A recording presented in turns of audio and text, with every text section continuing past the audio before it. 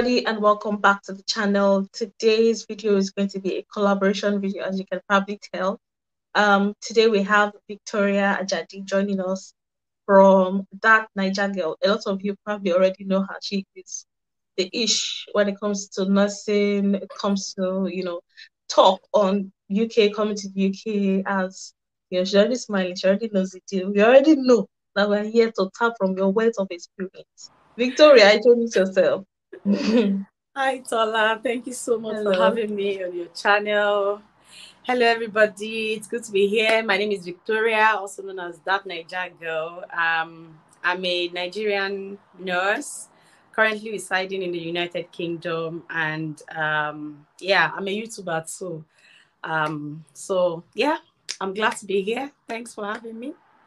Thank you for honoring our invitation. Um, all right, so those of you who are watching this video probably follow me for my healthcare content, and you have been asking recurring questions, and some of them I cannot answer on my own, and that is why I've brought a nurse. All right, so a lot of questions have been coming, and most of them have been towards the um, line of healthcare jobs regarding um, whether they can come in.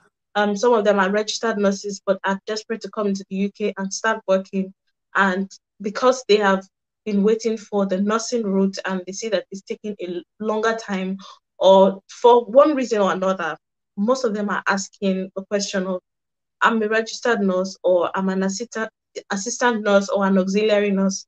Can i come into the uk as a healthcare assistant?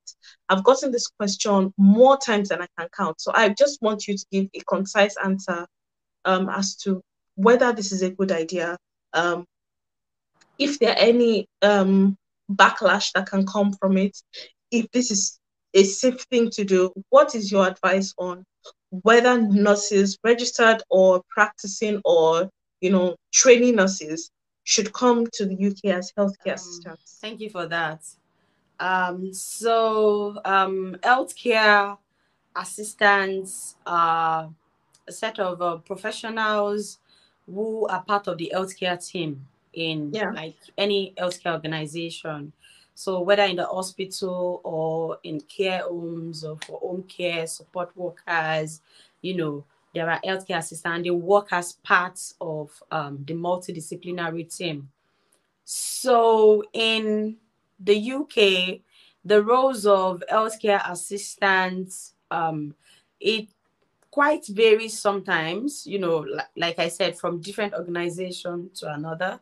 And I think where you should start from as a registered nurse who is trying to or contemplating coming into the UK via the HCA route is knowing what the roles of the healthcare assistant is. Now, if you're already practicing in your country, you probably have an idea of what um, an HCA does. Yeah, Mhm.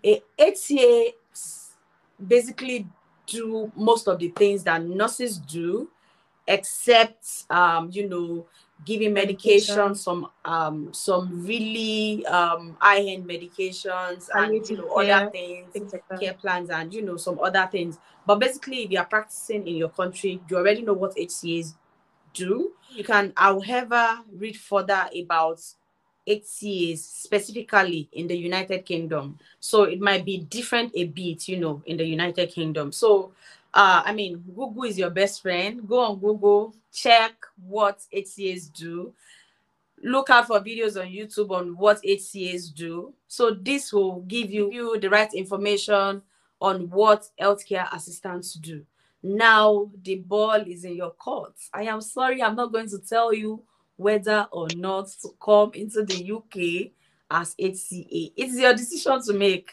Yeah. So after you've um after you've done your research, you've checked what HCAs do, are you comfortable coming in to the UK with um registered nurse um license you don't really have a license because you're not coming in as a registered nurse but are you comfortable coming in as a registered nurse to work as healthcare assistant if it is something that you see yourself doing definitely go for it but if you don't see yourself doing that then i will say you should wait also you need to know that when you come into the um country as healthcare assistant you might be I don't want to use the word stalked. You might be in that role for a long time. You might be there for at least a year. Yeah. Yes. Because I mean, people, your employers are bringing you in into the UK, you know, from wherever country you're coming from. They are business people, really. That's the truth. Yeah. Most of them, they are business yeah. people. So you need to work for the money that they have paid for Besides bringing your, you. It's a contract. contract yeah, is sign contracts. That is why I usually say that you, you know, look out for your, what you are signing before you sign it, you know, and all that. So if you have signed that, you are staying with them for three years before you can move on or you know move on from that position. Then you need to stay with them for three years, or else you are going to pay. You are going to have to pay them. I mean, it it will all be in your contract. So whatever you are signing, just make sure that you've read it through and you are sure that I mean you are sure that you want to go ahead with it. So you can come into the um, UK as an healthcare assistant, and you might have to do that for a number of years according to what is in your contract, or you pay and leave the job if you don't want to continue when you get into the UK. I think that answers um, it. Next question What are the requirements for nurses to come to the UK? I know you have made several videos about this on your YouTube channel in terms of IELTS, um, writing and passing OSCE, you know, the, the requirements that they need. Because a lot of people are confused with the IELTS for um, healthcare workers and the IELTS requirements and type of IELTS to write when in regards to nurses as well. I know it's a, it's different, but just give us the requirements that we need for nurses and the difference in relation to the requirements for healthcare workers? Um, let me first say that if you want to come into the UK as a registered nurse, the one of the first things that you need to do is to get yourself registered um, on the NMC portal. So the Nursing and Midwifery Council of UK actually has a portal for overseas nurses who intend to come into the UK to live and work as nurses. So I think your first point, I mean, after getting all the informations, I mean, some of the informations that you need online, the the major step, one major step that you need to do is to register on the NMC portal as an overseas nurse. Now, on that website, see everything you need is there. there. The reason why I'm saying this is because you get direct information from the source, from the people who will be giving you your pin to work in the UK. You are you'll be getting direct information from them, emails and everything. You can contact them, you can call them, you can send them emails and all that directly. Because YouTube videos ages and sometimes it needs to be updated. Like recently now, there's a discussion around IELTS for nurses. Yes. Yeah, and they are trying to review it. So if you watched my video last year and you are looking at the requirement for last year, you are not updated because I mean things are going things on and on. Yes, yeah, things, things are changing. So by the mm. time you get registered on the portal, you are getting live um information directly current information. But yes. as of now, as of today, as of filming this video, you need, I mean, um, as a registered nurse trying to come into the UK, you need to um have passed your CBT. Your CBT is a computer-based test that is done in different states in different countries. You need to register online. Like i said once you register on the nmc portal i think i'm going to get the portal and give it to tola so that she can put it in the description in the box. link. yeah. Yeah. So once you go through that link you'll be able to register for your cbt and then you'll be able to choose the closest address to you to your own um, primary place of residence so that you don't have to keep traveling outside of your um, country or of your place of residence to do the CBT. So the CBT is a test of your nursing knowledge. It's basically nursing questions. I don't I, I can't remember how many questions there are. It's timed as well. I'm sorry. It's timed. Yes, it is timed, but don't worry. I mean the time is it is it is so much. Yeah, there, there's enough time, more than enough time. Trust me, more than enough time to do, especially when you've practiced and practiced well. So um, there's a particular mark that you should get. I do. They do not actually give you like the the cutoff. What they will tell you is it might change tomorrow. Like I said, right. their requirements and everything keeps changing, so it might change tomorrow. But as of what I know, there's no percentage like oh you have to get 80% and then you, are, you you pass. We don't know what the percentage is. You know so another major it. requirement is um the test of english language and um that's majorly ielts so for ielts you are expected to have there are some scores that you're expected to achieve and there are four parts to ielts there's the reading, listening, writing, and speaking. Now, for everything, you are expected to get at least a band seven in each, right. except for writing. So, for the writing part, the least that you are expected to get is 6.5 for now. So, like I said, the NMC is trying to like review, review it so it can change anytime soon in the future. But for now, that's what the requirement um that's what the requirement is for English um test. Those two requirements are what you need to actually get yourself um an interview with an employer. So once you have these two, employers will be happy to interview you and get you on board, you know, into the UK. But then you will be coming in as a pre-registered nurse. So pre-reg- pre-registered nurses and nurses who are um, practicing nurses in their own country, but they are yet to get their full um, NMC pin in the UK. So an NMC pin is um, is a set of numbers and letters, like your license, that gives you permission to actually work. So the next step for you to do when you get to the UK is to have your OSCE done. So it's like Viva. Uh, if you're a nurse, you understand what I mean. It's like Viva. Right. You go in, you you know, they paint different scenarios for you, and then you act like you're supposed to do when you are faced with that scenario in real life in the hospital. So once you pass that, also then NMC will give you your pin, and you are officially a UK registered nurse. So that's the process for becoming a nurse in the UK. Um, so the next question is what other alternatives can nurses come to the UK with? Apart from the HCA route, know, for example, I came in as a dependent and then I applied when I got into the country. So, what other route can a nurse come into the UK and find jobs as uh, as a nurse? Right. Um. So another route that you can take, like you said, uh, one of them is dependence. Another route that you can take is um, student route.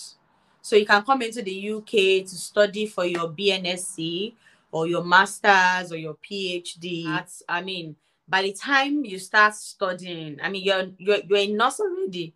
So it will be easy for you to actually get jobs with agencies yeah. Yeah. yeah. and then you won't just be working you you will not be working as a carer most likely they, they will um, accept you as a senior carer or a senior healthcare assistant so by i mean with this you already have a good rapport with um, different organizations you meet yeah. with their managers and all that they are even the one they are the ones that will even be encouraging you to come and work with them permanently it is more costly, but I mean, if you yeah. can spend that money, yeah, that yeah, yeah, it is another route that you can take.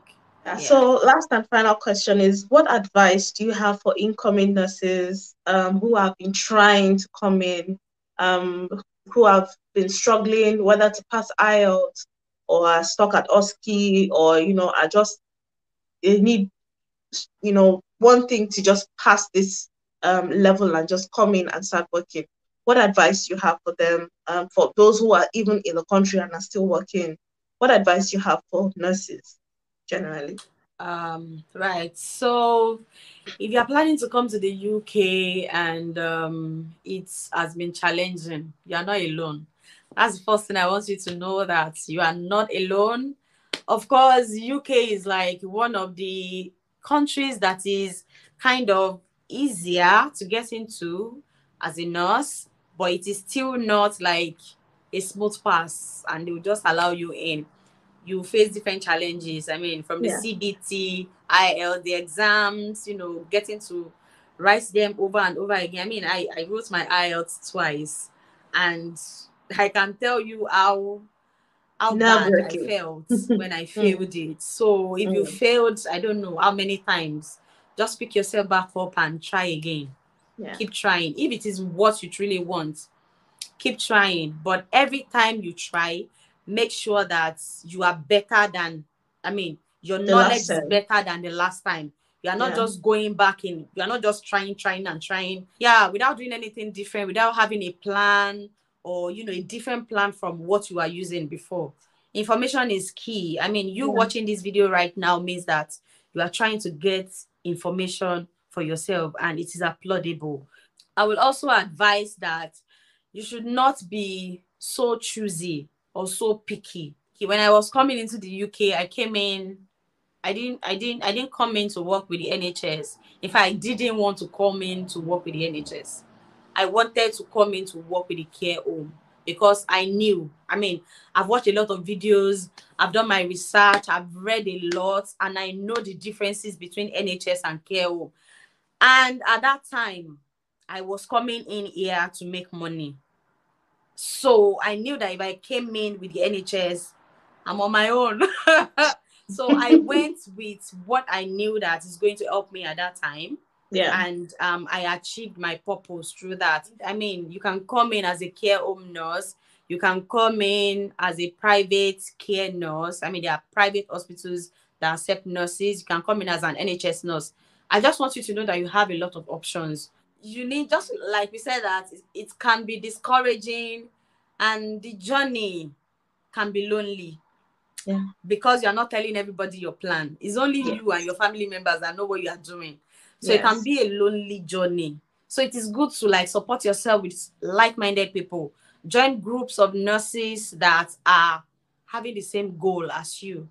So that you know you get encouragement from others. I mean, when you fail IELTS once and you hear of story of somebody in a group that has failed IELTS five times, who are mm-hmm. you to mm-hmm. say you are discouraged? you pick care, care, you pick yourself back up and you be like, yeah. oh no, this person can still be, you know, doing this at this time. So yeah. I've just failed once. Why will I say I'm tired?